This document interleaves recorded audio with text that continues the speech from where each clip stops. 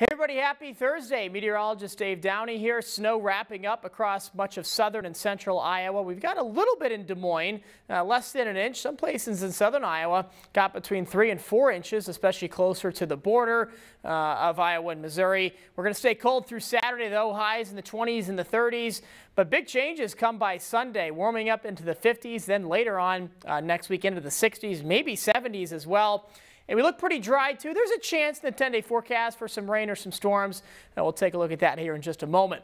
Wind gusts are going to increase tomorrow. It's been pretty quiet in the wind department today, even with all that snow. But a cold front's going to work its way in overnight tonight into tomorrow morning.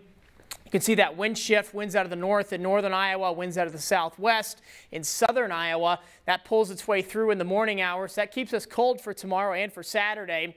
Wind gusts between 25 and 30 miles per hour pretty much throughout the entire state you see here tomorrow before they back off a little bit, not completely, uh, by Saturday. Look at the jump in the temperature department Saturday into Sunday.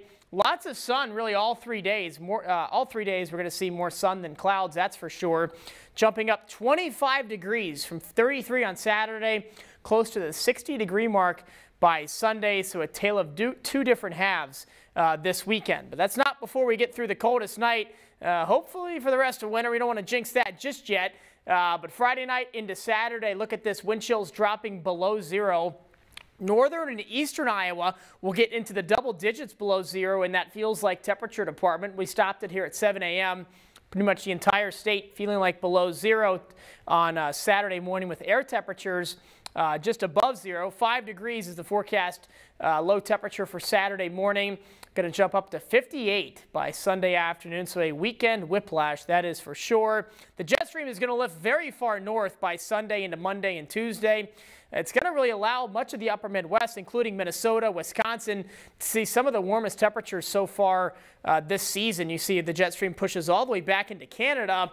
Wednesday will likely be our warmest day next week, and that really roll on throughout next week as well. We're kind of in the bullseye here for the uh, above average temperatures uh, for March 16th through the 20th, so that 6 to 10 day range for next week. 16 tonight as skies clear out. Winds will pick up overnight tonight.